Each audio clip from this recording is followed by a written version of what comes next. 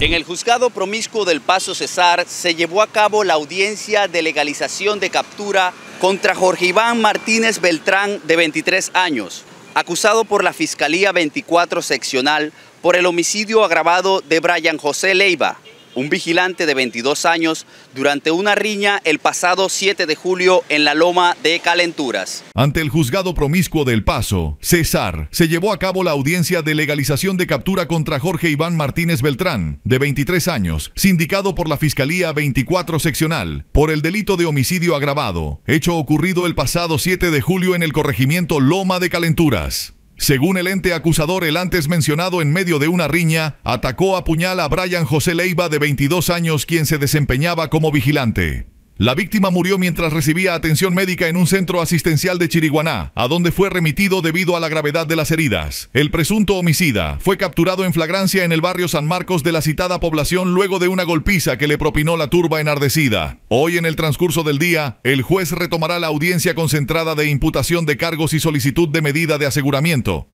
En Promociones El Poderoso.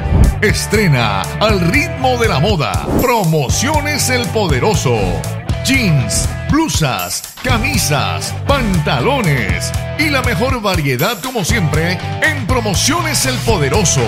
Ah, y para los niños también. Promociones El Poderoso. Estamos ubicados frente al Parque de las Almojábanas, La Paz Cesar. Promociones El Poderoso.